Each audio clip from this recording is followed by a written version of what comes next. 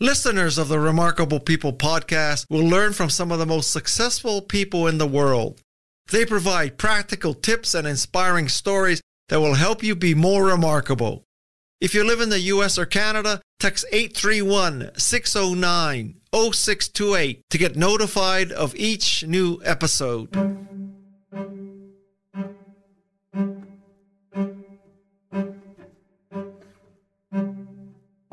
I'm Guy Kawasaki, and this is Remarkable People.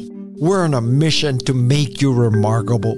Helping me in this episode is the remarkable Wanda Harding, a former NASA engineer and rocket scientist with over 20 years of experience in the aerospace field. Her knowledge stretches from the stars to the classroom. She worked on the International Space Station program and managed the launch of the Mars Science Laboratory mission. But her journey didn't end there. Today, she's using her expertise to inspire the next generation of scientists and engineers as an eighth grade physical science teacher at Young Middle School in Atlanta. Wanda is also the author of a book called When I Consider God's Amazing Universe a children's book about the connection between God and the universe. Wanda holds a bachelor's degree in electrical engineering from Hampton University and a master's degree from the Georgia Institute of Technology. She was the only woman of color on the team during the Mars Curiosity rover mission. Get ready to be inspired by Wanda's incredible journey and the impact she's making on the world. I'm Guy Kawasaki this is Remarkable People. And now, here's Wanda Harding.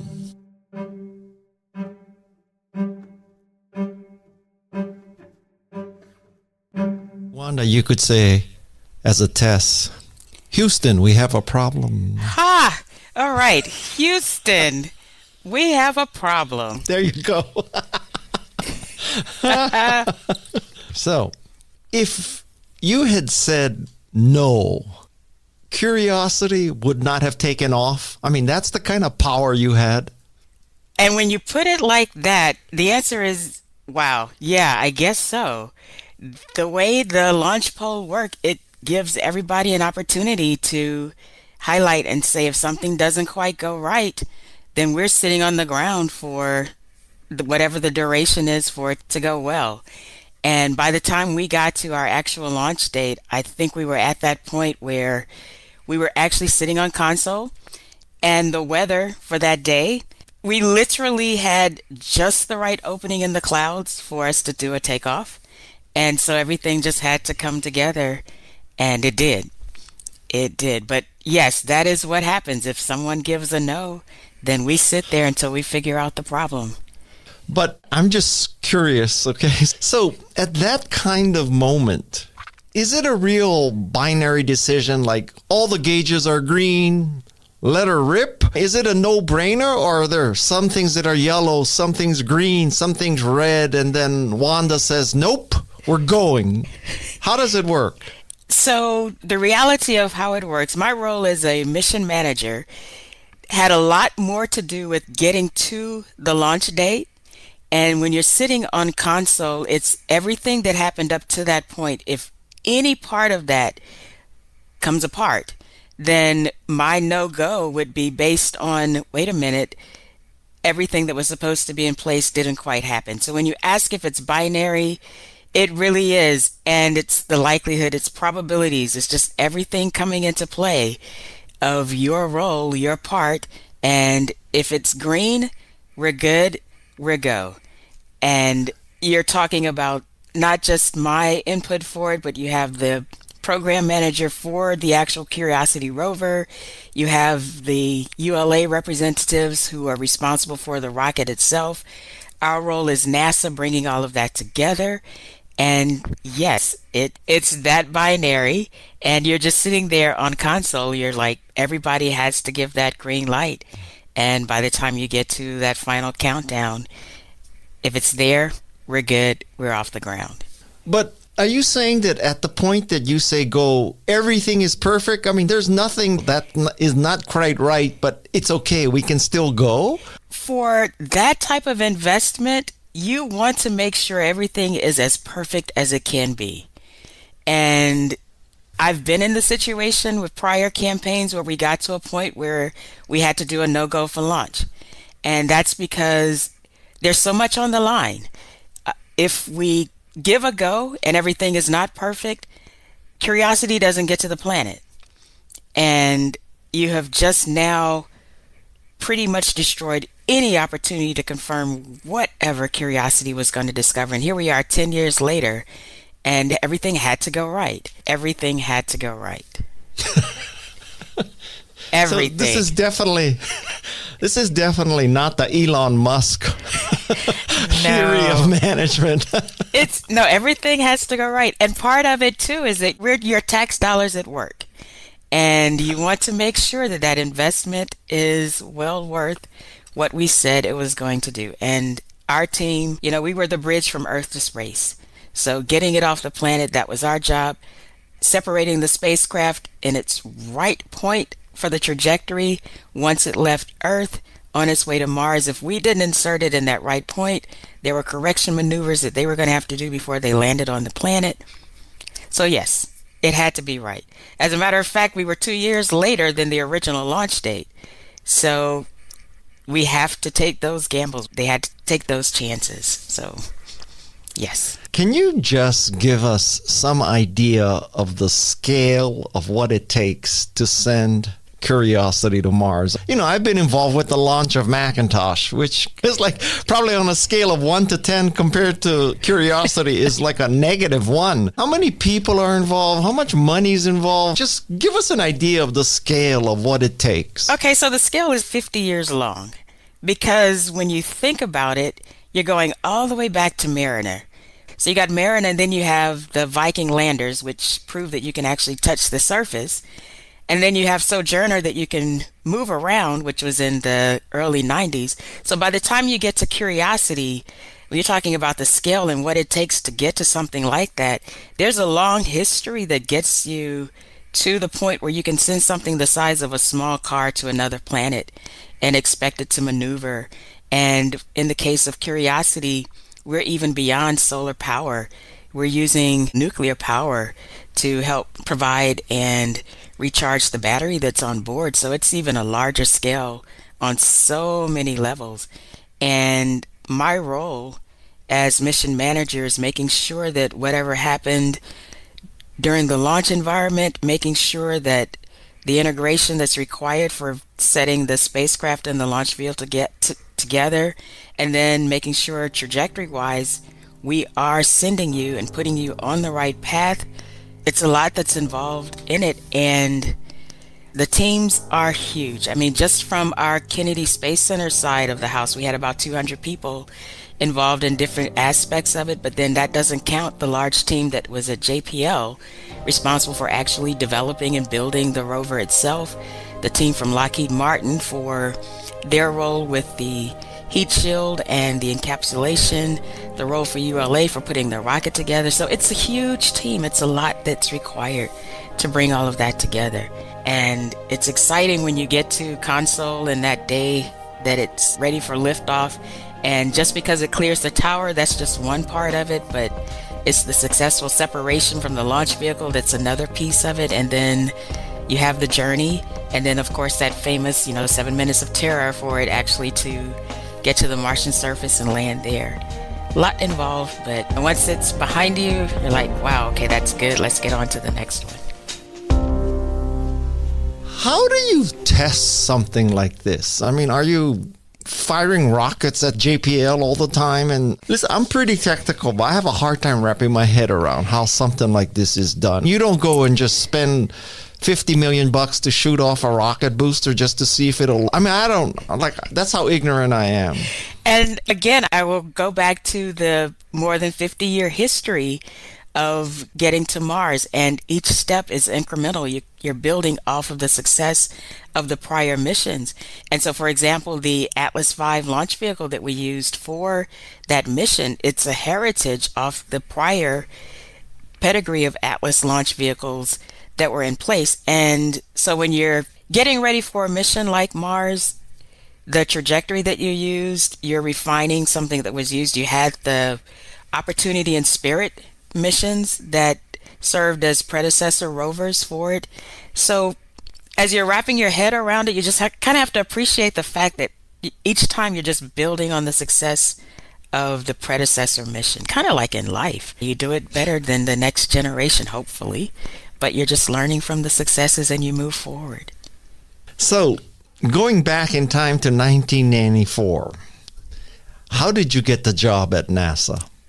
So it wasn't anything that I was pursuing. As a matter of fact, I was working with an electrical contractor here in Atlanta and was ready for a change. Wait, and wait, stop right there. When you say electrical contractor, are you saying like someone who puts light switches in a house? Or are you talking about electrical engineering? No, I'm actually talking about I was a project manager with an electrical contractor. We did commercial facilities, so we were putting wires in renovated buildings. Um, oh my! Okay. Helping to modify some of the signals in sure. the transit stations here. So from that perspective, it was the hard hat and the steel toe boots as a project manager. So I was not actually doing that, but I was telling the people who were what to do. If that okay, so now how did you get from that to NASA? So from that to NASA, yeah, it is a huge leap. But I recently finished grad school at Georgia Tech, and so wanted to try my hands at the hands-on world and started just floating my resume out. And good friend knew some people down at the Space Center, passed my resume along, and when they took a look at it, I got a phone call asking when would you like to start. And my first response was, wait, I don't know about rocket science. They said, that's fine. Based on your resume, you can easily learn about it. Come on down and join us. So, October of 1994, I packed my stuff up and headed down to Kennedy Space Center to start working with the International Space Station program and the ground processing group there at Kennedy Space Center. So that was the start. It was a huge change, it was a big shift, but it was one of those things where NASA came in. I don't say they knocked on my door, but I wasn't running to their door because I sent in my information and didn't follow up and got a phone call that said, Didn't you get the information we sent? Would you please go ahead and follow up. So I did. And the rest is wow. history. So I look at it as a blessing. It was just one of those things. I have this philosophy in life where each opportunity that comes along just prepares you for what's next. And you never really know truly what is next, but if you just take advantage of the opportunities that you have. So my work with the electrical contractor gave me some great project management skills, which were easily transferable to the role that I inherited when I started with NASA. And my work in the International Space Station program gave me opportunities to work with engineers, not just domestically, but the name international. I had a chance to work with engineers over in Italy for the component of the space station that they were responsible for.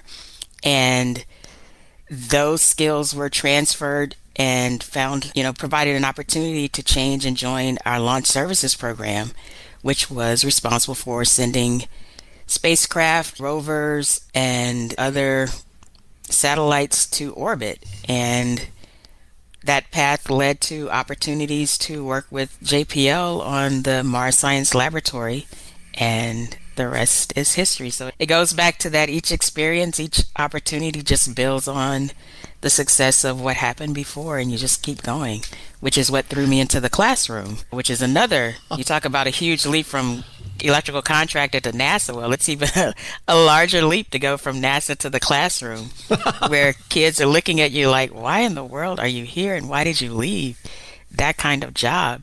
And from my perspective, I jokingly tell them they're going to be the future taxpayers and I can't complain about you if I don't do anything to solve the problem.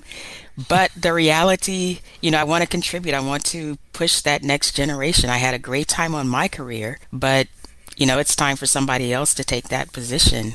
And so I want to be a part of the foundation development for our 21st century leaders that are going to move us forward. Oh my God, Wanda, my head is exploding. I thought you were going to tell me some story about, you know, you had two strikes against you. You're a woman and you're black, and you had to overcome prejudice.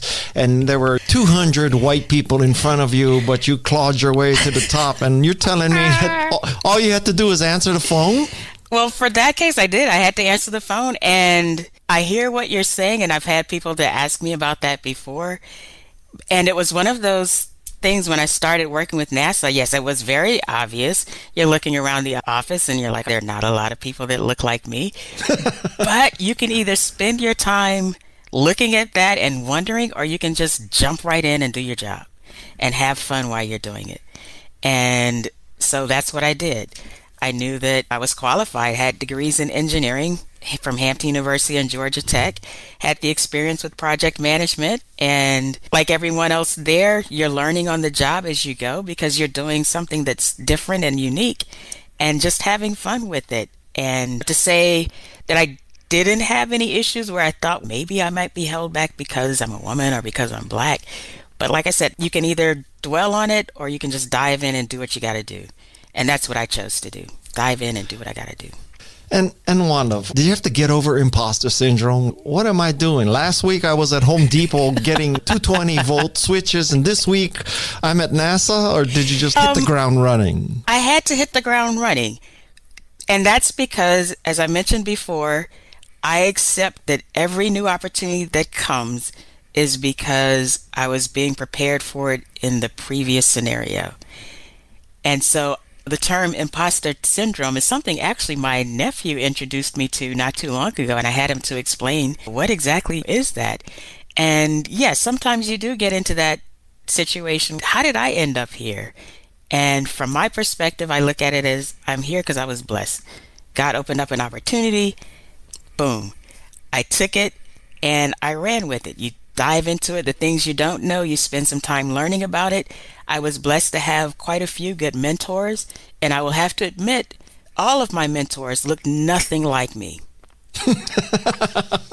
and that was something I had to get over because I thought, you know, in a lot of cases, that would not be the scenario. But the people that, you know, identified and said, Hey, Wanda, I think I want you to come join this team. My boss, and I'll just throw his name out there, Ray Lugo was one of the biggest advocates that I that I had. Looked nothing like me, but he saw something, fortunately, in me that I didn't see in myself, and provided just the encouragement that I needed to move forward. And that's when I realized you can't use your skin color as a barrier. I ended up being asked to be mentored by people that didn't look like me. And I appreciated that because then you just start to appreciate people as people. Kind of get beyond the exterior and just say, hey, let's see how we can work together and make this happen. I have to ask, was there a convenient woman's restroom in 1984? Did you have to go to another building? So I always tell people read the book. Hollywood does its thing, and they have to because otherwise the story is a little bit more boring than perceived. But no, to their credit, those who were working at Langley, they did experience a separate lunch cafeteria in that case. And when you consider, you know, the fact that we were in the South, when you talk about Texas, you talk about Stennis in Louisiana, you talk about Florida, which they do have the Confederate flags hidden behind Mickey's ears and the palm trees. But it was one of those cases where the one thing I do appreciate that they portrayed in the movie was that they were competent and they were skilled and they knew what they were doing, despite the obstacles that may have been put in their way. And so, capturing that history, the scene where he's tearing down the sign with the uh, sledgehammer for the bathroom is like, okay, yeah, that that's Hollywood. It's dramatic. We get that. But I think the biggest obstacle was just having the buy-in that people could be competent that didn't look like you. And that was probably the biggest message to come out of the film. But did you have to overcome that too?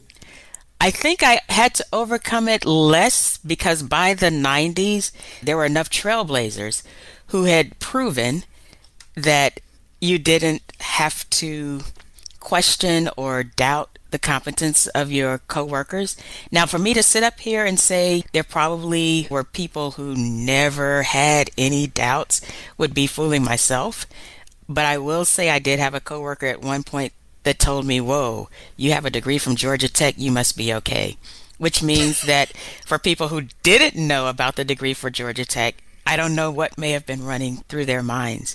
And I did have coworkers, you know, at Kennedy who were there in the 70s and in the 60s, and they did have some unfavorable experiences. But by the time I came along, fortunately, you know, we were beyond that. And so I had less of that to deal with. So now, looking back, advice for young people how did you rise to the position of mission manager? What did it take? So, looking at advice for young people, the rise to mission manager, what does it take? It takes courage, willingness to accept assignments as they come because you never know who's watching. And by that, in some cases, the assignment may be very mundane data collection or serving on a team that may have nothing to do with the mission you're working on. But being willing to take those extra assignments is a plus believing that you are still someone who can learn and does not mind learning. The biggest thing I always tell people also is teamwork. If you can work with the worst of people, you can work with the best of people. That allows you to move forward. It goes back to you never really know who is watching you because in most cases, you'll end up getting an invitation as opposed to having to scramble to compete for a position. And to be perfectly honest, that is what happened in my case. It was not so much that I ran and said, Hey, I want to go and do this, but it was, We've observed your work. We see what you can do. We'd like to give it a try. Have you come join the team and see how you like it? And you do it. You work with the people. You learn as much as you can. You are not arrogant about it. They recognize you're willing to learn. You're cooperative. And it just goes from there. And I guess the most important part is having fun with it. If you can enjoy what you're doing and you're having fun with it, then you're definitely going to rise. Kind of question from left field. Okay. So, how did your work at NASA affect your belief in God? So, my belief in God was solid before NASA and it remains so after. And the one change that NASA brought about was the opportunity to see from a perspective that I probably would not have being a civilian is the insight on not only the missions, but meeting the people that are behind the mission and just understanding the types of questions that they're asking that would drive them to go off and do the type of research that they did. And as I became exposed to what they were discovering, reading the reports that were published, my faith I guess it grew in some cases because what we take for granted and what we think we understand, but as we start to learn more, I'm more convinced that there had to be a creator behind everything that we see. And I don't see the science as a way of discrediting a creator. I just really see it more as a way of crediting a creator because it's organized, it makes sense. And the more we discover, the more questions we start to ask, and the answers that we get as we start to discover more, it just reveals some sense of awe. If I guess that's probably the best word that I can put there. It reveals a sense of awe that makes you go, there has to be a point to this. It's there has to be a point. There has to be a point.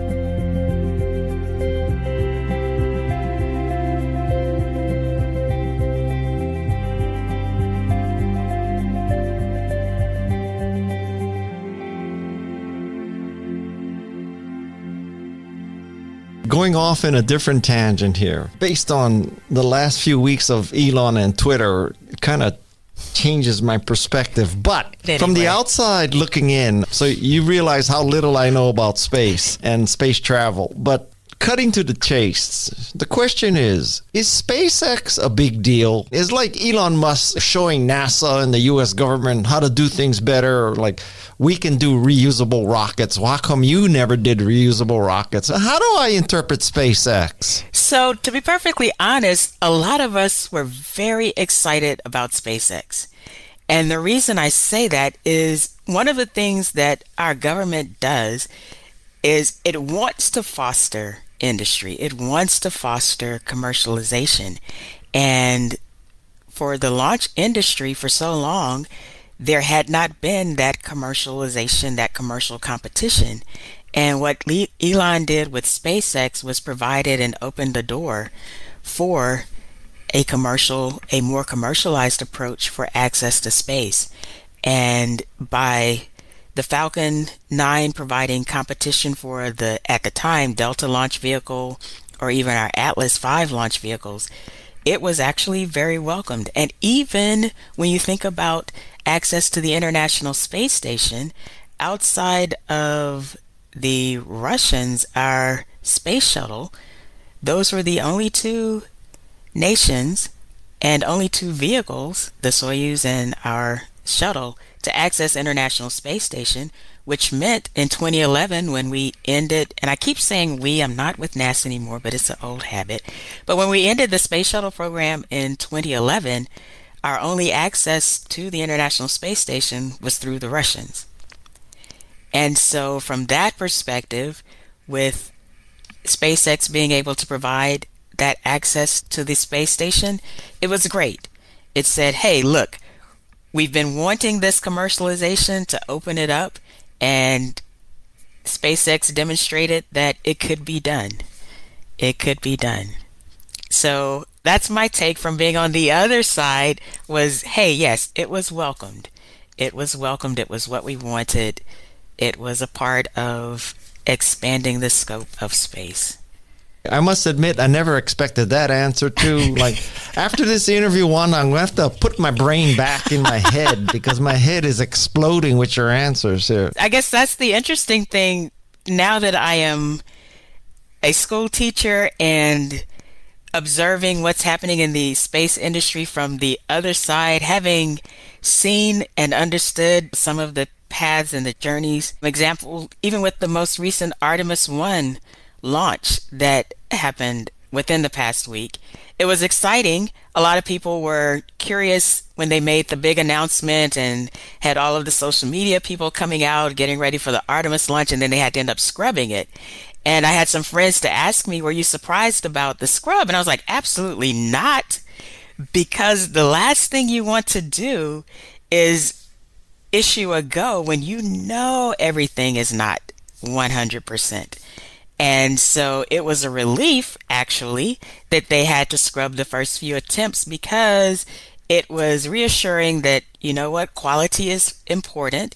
And because eventually they are planning to put humans on that vehicle, you want to make sure that you have checked off every system and everything is functioning as it should because the stakes get higher when you start to put people on there, the most precious of cargo that you could ever send up there's never moments like Joe Biden or George Bush or Barack Obama, he needs a win. We got to launch this week because that's like you're mission manager. You don't give a shit about all that. Just like it's either perfect or it's not. I don't it's give a damn about right. anything else. It's got to be right. And it's, you know, a lot of people wonder, it's like, how risk averse do you need to be in order to be successful? the stakes are high. You make those calls. And that's part of, I said, you know, before you get to the countdown, there's a lot that happens and a lot of decisions that are made that we had to even make when it came to integrating the spacecraft with the launch vehicle. There were some issues that we had to resolve before even ULA said, hey, you've got to get this straight before we'll even go forward with the integration. And you have to take it seriously. Yes, there's a schedule, there is a budget, but you have to weigh there's probably more to lose with an unsuccessful mission than there is without, if that makes any sense. And so you 99.9% okay, we can we're good. But if it's 80% no, let's go back. Let's get it right. We've got to get it right. There's more at stake for a successful mission than an unsuccessful. Yes. So, I'm sorry. Can you tell me so, not at all. Don't apologize. So, Wanda, do you think that humans will be living on Mars at some point? Well, some point is a long time, but like, why? Why are we trying to, or are we trying to live on Mars? I mean, what's the plan here? I don't understand. Like, why don't we just fix the Earth? Isn't that easier? I think that question is probably age old. Why are we trying to get to Mars? What's the big deal? What's wrong with Earth? And I have two answers for it. The first one is because it's like a really cool thing to just go off and try to do. but the second one goes back to, I call it the big question that David had back in Psalm 8. It's like, you know, when I look up there and I see everything, you know, what is, what is man? And sometimes I believe it's hard for us to believe that we're special created beings and we're in search of an answer that tells us we're not special, if that makes sense. Now I'm going off into another tangent. But anyway, the reason I say that is because if we're not special, if we're not exceptional, then I don't have to believe that my life is purposeful because I can look off and say, well, there's nothing special about Earth. I can go colonize Mars. Why am I just limited to Earth? And all of the money that we're spending and the great research that we're doing just to prove that Mars is habitable is answering a big question.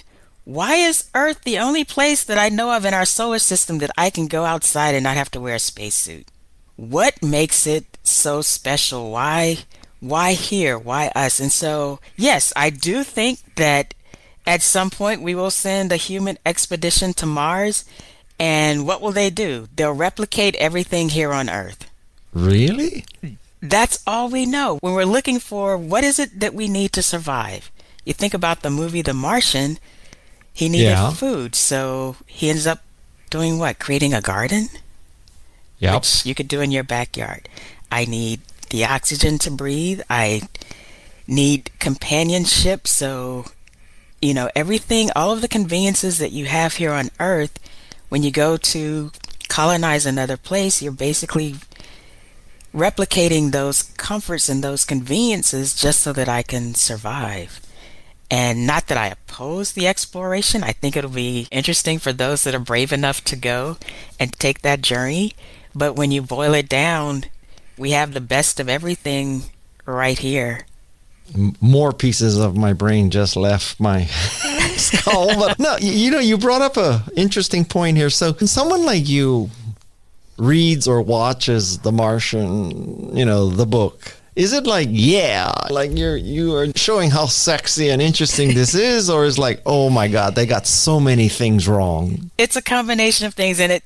I love the fact that Hollywood is not afraid to combine imagination with fact and the reality is innovation is that as well. It's combining imagination with fact and saying, hey, we can do something a little different. In some regards, you're watching the movie and you're like, yeah, that could never happen. But it's still fun. It's fun. It's creative. And if you're focused on trying to influence a new generation, you've now planted something new in their mind for them to go off and think about and say, well, just because they said it couldn't happen, does that really mean it can't happen? Let me see what I can do to to change that.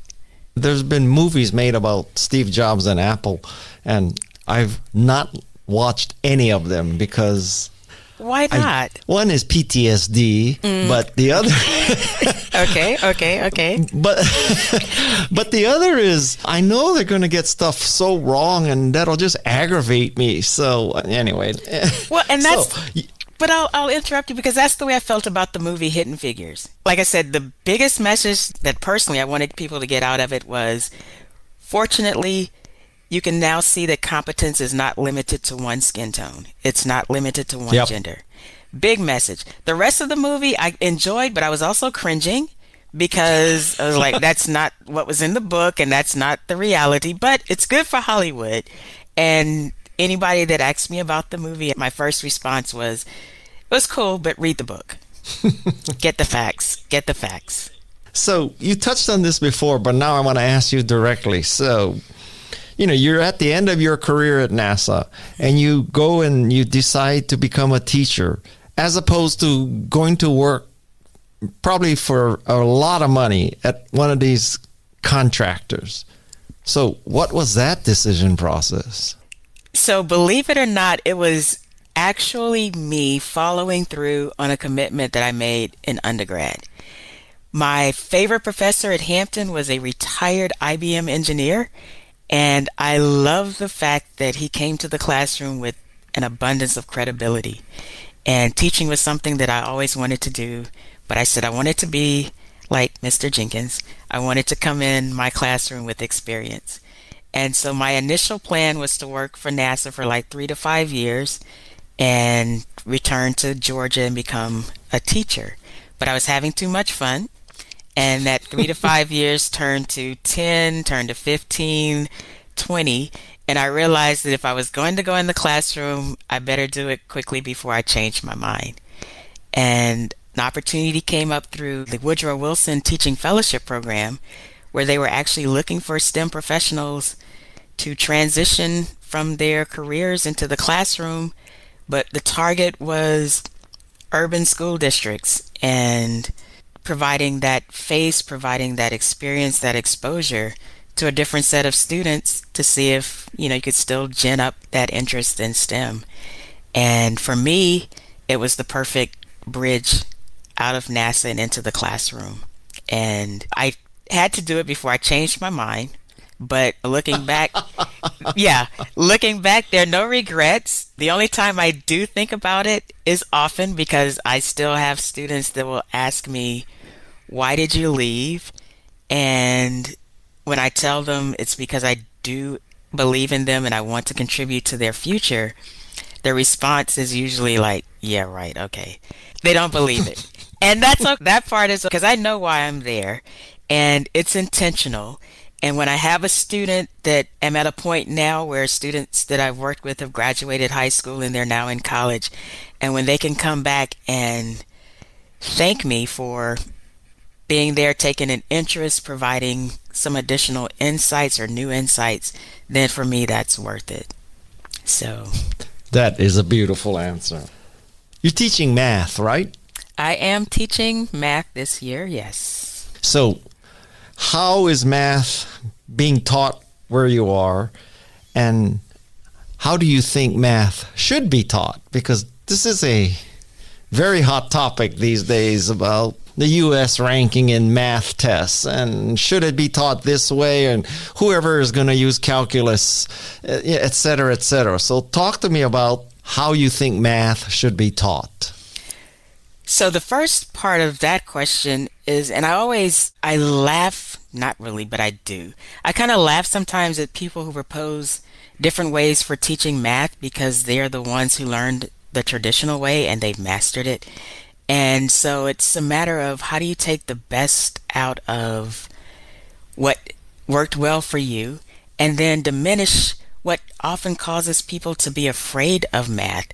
And I think part of it has to do with how we have not really confessed the reality that math is like a language.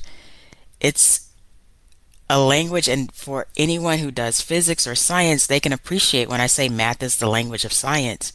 And so I think if we are honest with ourselves and try the approach of teaching it within the context of its application, that it may carry over better, a little differently, as opposed to just an isolated stovepipe approach of saying, okay, well, this is algebra, and this is algebra 2, and this is pre-calculus, this is calculus, and not really presenting it in its integrated form. The theorists would probably not appreciate what I'm saying because they look at math a little bit differently, but for those who apply it, I think that's one of the things that COVID has forced a lot of us to do is to revisit education, the approach, what's really important, and how do we best make that integration with our students. So that's one of the things that I want to make sure that I do is that they're seeing how the concepts are helping us to communicate as opposed to just learning the concepts in isolation, if that makes sense. Up next on Remarkable People. With this next generation, what we're trying to get them to appreciate and to understand is you have the opportunities that three generations ago didn't exist. And so be a part of the solution. And that's why I'm in the classroom is to help them equip themselves, get a foundation so that as the opportunities come, you're prepared to take your place in leadership and move us to where we need to be. Want to know when there's a new episode of Remarkable People? Simply text 831 609 0628 if you live in the US or Canada. Don't miss upcoming shows. Take a moment to follow Remarkable People in your app or podcast player. Welcome back to Remarkable People with Guy Kawasaki. What does it mean to uh, a black kid that two black men are running for U.S. Senate in Georgia? You probably have to ask a black kid.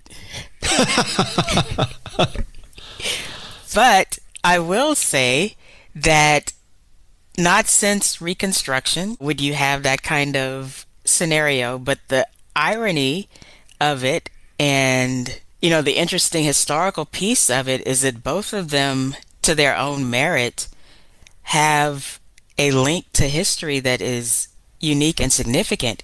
In the case of Raphael Warnock, his link to Ebenezer, Morehouse, and Martin Luther King is one trajectory, but then to Herschel Walker, where from the sports arena, the Heisman Club is such an exclusive group of athletes and men that they're both been recognized as being at the top of their respected careers, if you will. But when it comes to politics or who to best serve, this generation has probably seen more of a diverse. And when you think about my students as ninth graders who were born in 2008, which means that they grew up only knowing Barack Obama as the first president of memory for them. So to see two black men in Georgia running for Senate, okay, no big deal. We had a black man as a president for that generation. And, and that's the way we have to start thinking now is for that generation, it's normal. It's not an anomaly. But wouldn't you say that in the past six years, it seems like we're proving that we're a racist country? Or do you think I'm overblowing? No, I mean, I, no. In the past six years, we haven't proved that we're a racist country. In the past six years, we've just more exposed the reality, if that makes sense. So it's not that there's something new or some breathtaking, earth-shattering revelation that is out there. It's now that social media, we now have instant access to everything that's out there. We're just having to come to terms with it in a different way. And by different way, we're talking about, you know, we're just really 55, 56 years removed from John F. Kennedy, Lyndon Johnson, Martin Luther King being alive and going through the whole Civil Rights Act of 65 and all of that. And the issues that they were trying to resolve then, we've made progress on. But I would dare say within the past six years, what we've probably exposed is that there's another aspect that we, and I heard it on one of your other podcasts. I'm going to just point that out. But America's caste system blended with racism has just become a little bit more exposed now. And so, again, the mere fact that we have the two black gentlemen running for U.S. Senate, they're not the first to have run, but they are the first to have made it as far as they have, Warnock being the first to actually be elected to that position. But with this next generation, what we're trying to get them to appreciate and to understand is you have the opportunities that three generations ago didn't exist. And so be a part of the solution. And that's why I'm in the classroom is to help them equip themselves, get a foundation so that as the opportunities come, you're prepared to take your place in leadership and move us to where we need to be. And what is your interpretation of Stacey Abrams not winning? Because I'll tell you, if somebody said to me, Guy, I, am going to give you a silver bullet. You can have anybody you want on your podcast anybody alive anyway, right? Yeah. Michelle Obama, Barack Obama, Tom Brady. Well, I don't want Tom Brady. And if somebody said, you know, you could have anybody, uh, Greta Thunberg, anybody, I would say Stacey Abrams. She would be my number one pick. So I don't even know how to wrap my mind around the fact that she lost. And I would agree with you. She would be an excellent, remarkable person, incredible story that she has.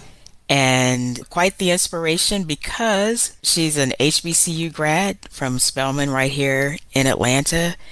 And she was able to garner great attention, even though she had also served in our statewide legislature and pursuing the opportunity to take the helm. And it's just opened up the doors and the opportunities for others to say, hey, you know what? It's possible for me. And you go back to that generation again of what has become normal for them to see, starting, like I said, born in 2008, my ninth graders, seeing a Barack Obama in the White House, being able to see a woman like Stacey Abrams take it as far as she did for the campaign, the upcoming elections that we have now. America still has a lot of growing to do, a lot of growing up to do. But I think I keep going back. We're putting a lot on this next generation, but I think the 21st century holds some wonderful promises if we prepare them to take the challenges head on. And you, Wanda Harding, are doing that one classroom at a time. That's what it's going to take, right? That's what it has to take. One classroom at a time. One classroom, one smile, one student at a time. And 20 or 30 years from now, somebody is going to be interviewing somebody and they're going to say, I had a teacher named Wanda Harding and she taught me how I could accomplish whatever I wanted to accomplish. You're gonna, I, you're gonna inspire a lot of people, Wanda. Truly, oh that my is God. my genuine prayer. I just want to be an inspiration. I want to point people in a direction where the encouragement that was provided to me as a youngster, the nurturing that I received, I just want to be a part of giving that to the next generation. And from Atlanta, to Mars, back to Atlanta, to whatever is next. That's what I want to leave to that next generation. To put it mildly, this interview did not go as I expected. some new thoughts, some new ideas, hopefully, came to mind. No, I'm not expressing disappointment. I am just thrilled at the diversity of your answers. Wow. Well, that's life, right? That's the way life sometimes comes at you. It's the unexpected and when you're looking at different perspectives, you're never really quite sure what is on the other side until you flip that coin over and you're like, oh, wow, okay, I hadn't thought about it that way, but now I can. Are you like always this positive and uplifting? You ever have down moments? Because of you, course I have down uh, moments. Madison, I'm don't human. you think she's the most positive person we've ever had on this podcast? Of course I've had down moments, but life is too short to dwell in an abundance of down moments. People are counting on you. When I say people are counting on you, every encounter that you make, I have an uncle that used to walk around and say there's something eternal about every moment. So you don't know what kind of impact you're making. You just need to make sure it's a good one when all is said and done. Man, well, Wikipedia's oh. entry for optimism, they should show a picture of you. My goodness. and there you have it, folks. A remarkable conversation with Wanda Harding. From her journey as a NASA engineer and rocket scientist to her current role as an inspiring teacher and author, Wanda is truly a shining example of what can be achieved when we pursue our interests and passions and use our skills to the fullest.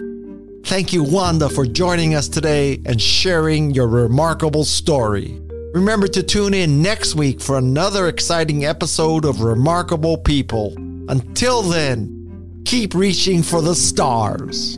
And speaking of stars, my thanks to the stars of the Remarkable People team Jeff Sieh, Peg Fitzpatrick, Shannon Hernandez, Madison Nismer, Luis Magana, and Alexis Nishimura. Until next time, mahalo and aloha. This is Remarkable People.